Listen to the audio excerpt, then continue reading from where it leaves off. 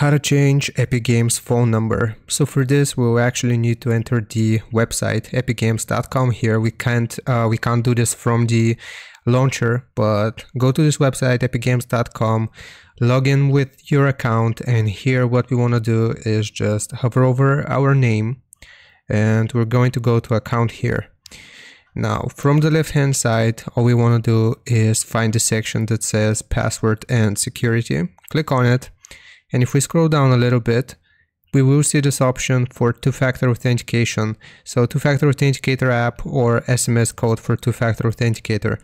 So you can click on here and you will be able to find your linked phone number.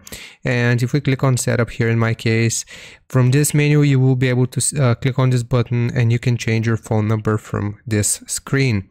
So for me, it's different because I haven't actually set up a phone number, but you can change your phone number this way.